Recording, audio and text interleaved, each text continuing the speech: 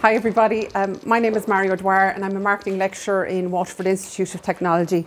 I'm primarily involved in um, teaching undergraduate students and I teach on a range of programmes right throughout the School of Business in WIT. Um, I had to put this up because I truly love teaching. It's something I'm really passionate about. I love the interaction with students and I particularly love the fact that every academic year brings new people into my life and along with that new perspectives and new challenges. Um, teaching is one of those professions that really uh, keeps you on your toes and I have to say I think it keeps you young as well because it encourages you to be creative and to work with a variety of people.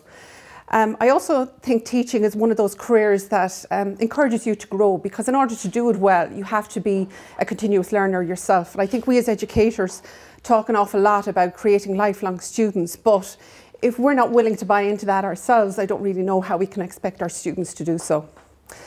So as stream leader for the marketing stream of our Bachelor Business Studies programme in WIT, I work really closely with our final year students to try and facilitate their transfer from the world of college to the world of work. And for some students, this can be a really difficult transition. And I say particularly for marketing students during recessionary times, we've really been hit by the recession. So I, part of my job is really to prepare students for that transition um, and to help them to move from the comfort of college life into the world of work. And the main way I do that is through my teaching approaches and through my assessment methods, which I try to use to ensure the students are better prepared for the um, tough market that is out there. Um, earlier this year, I conducted um, or took part in a professional certificate for entrepreneurial educators in UCD that really approached my, uh, changed my approach to thinking. And this programme encouraged me for the first time in my 20 year teaching career to really take the time and space to think about um, why I teach, what I teach, how I teach, and how I could do it better. Uh, and it was really powerful for me and it was hugely beneficial. Um, and it forced me to think about my teaching approach and my teaching philosophy. So what is my teaching philosophy? For me, it's all about empowerment. It's about empowering students by giving them a voice, by um, meaningful use of technology in the classroom, and also by preparing students for real business issues. Um, sorry, before I go on to this, I should say that um, I heard the analogy earlier today about the midwife. Well, for me, a teacher is very much like a personal trainer. I'm not a very fit personal trainer, but I say to students, I am their personal trainer, that I can give them the skills, the knowledge, the tools, I can motivate them and I can encourage them. But at the end of the day, they have to do the work and they have to take responsibility for their own learning. I'm a big believer in trying to push students outside their comfort zone. And your comfort zone is a very safe place to be. And students tend to spend an awful lot of time in their comfort zone. And I try to challenge them to move into their learning zone. When I challenge them initially, they move into the panic zone. And initially there is that panic when they think, how am I going to deal with this? How am I going to cope with some new challenge? But my role as an educator is really to facilitate students to move back into that learning zone by supporting them in their learning. Um, I myself, I'm probably in the panic zone at the moment. Uh, earlier on when I was listening to everybody else's presentation, I was very much in the learning zone. Um, so it's not just the student that needs to move out of their comfort zone. I think we as educators need to challenge ourselves more and move out into the learning zone. So I always say to students that you will learn very little in your comfort zone, that really you have to push yourself and challenge yourself, and I try and do that in a classroom environment. One way in which I do that is through the use of problem-based live projects, uh, where we um, link up with an industry partner. So what happens is that um, an industry partner comes in, gives students a brief, and they work in teams as advertising agencies to develop a digital advertising campaign for a client. They meet with the client halfway through semester, they give them interim feedback, and at the end of term, they need to pitch their campaigns to representatives from the client company. High pressure, but fantastic for the students because it really mirrors that advertising agency client relationship and is trying to simulate a real world environment. And students benefit in lots of ways, gain lots of skills, practical skills, but also those soft skills as well. It's hugely beneficial. Over the last five years, our students have worked with a variety of companies. So my students have worked with um, Jameson. We've also worked with Enterprise Rent-A-Car. And we've also worked with um, and their Gain pet food brand.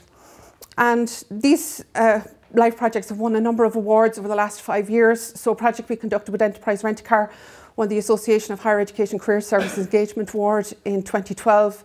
We won gold at the AHCS Engagement Award in 2013. And another project we uh, worked on uh, one was a finalist in the Jennifer Burke Award for Innovation in Teaching and Learning. Um, I'm a big believer in Carol Dweck's views on the importance of having a growth mindset. Um, I always tell my students that um, they learn very little if they have a fixed mindset. And often they come to us with that fixed mindset and the belief that their talents, their abilities, their intelligence, that they're fixed things. And one of the biggest things I hear from my students is I'm not creative. It's of course you're creative. You know, you just need the right challenges to bring out that creativity in you. And again, just like I've had to move into my learning zone, I've had to adopt a growth mindset as well. So it's not just the students, it's also me. One way in which I encourage students to do that is to believe in themselves and to truly believe that they have those abilities. They just need the right prompts in order to bring that out. One way in which I do it is through the School of Business Mentoring Programme at WIT. I introduced this five years ago where our past graduates would mentor our final year students on a one-to-one basis. So those mentors provide students with invaluable guidance, preparing them from, for that transition from the world of college to the world of work. So they line, sign a learning contract or a mentoring agreement, they meet with their mentor right throughout the academic year and they get invaluable advice that prepares them for the world of work. Um, every year we have an award ceremony at the end of the year, which is a fantastic opportunity for the mentors and mentees to get together and the academic staff within WIT. Finally, for me, uh, learning should be about fun, and I try to uh, use teaching approaches in the classroom that are fun. And I think if you're if you're having fun and you're enjoying learning, it's all, more, all the more valuable. So we use uh, Lego to try and illustrate creativity and diversity. I use the Marshmallow Challenge in order to um, foster team building and interpersonal skills. I use post-its for teaching and learning strategies. I write and use teaching case studies extensively in the classroom and I integrate um, social media into my teaching. I think I'm in a privileged position, a leadership role in the classroom, and it's something I take very seriously. Um, what I've learned after 20 years teaching is that um, really good teachers are warm, they're empathetic, they're enthusiastic, and they have their own love of learning that they pass on to students. And to me, teaching is more than just a delivery system. To me, it's not about filling heads, it's about inspiring students instead. And I'd love to think that students will walk away from um, my lectures thinking that, or walk away after their four years in college thinking they may not remember what I said, they may not remember what I did, but I truly hope they remember how I made them feel and that for them learning was a positive experience. Gormin Malgwith.